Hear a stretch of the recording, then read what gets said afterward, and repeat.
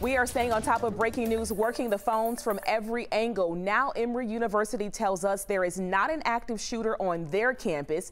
In a tweet, they say police are on scene at Druid Hills High School. These two institutions are within a half mile of each other.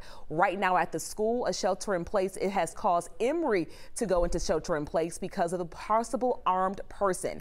Emory University, again, is near Druid Hills High School, which is currently on lockdown. They're calling this situation an unsafe situation. Here is a live look right now from the 11 Alive Sky Tracker outside of Druid Hills High School.